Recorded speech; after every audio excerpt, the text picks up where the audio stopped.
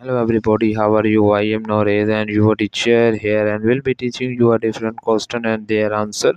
So I welcome you on classtheta.com where we'll be discussing questions. So let's get on the question. So our today question is in NIMS resources in when refers to preparedness actives conducted of incident response. The correct answer of the question is in NIMS National Incident Management Systems.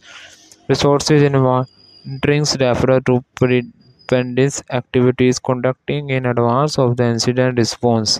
So that the answer of the question. If you are searching any other question, please visit www.classtheta.com and find on the search section if you have any question to ask. There are now sessions on the right side of the website. Fill the form and will be answering you as soon as I can. Thank you for watching this video. Please do not forget to like, share, subscribe our channel until next question. Bye bye.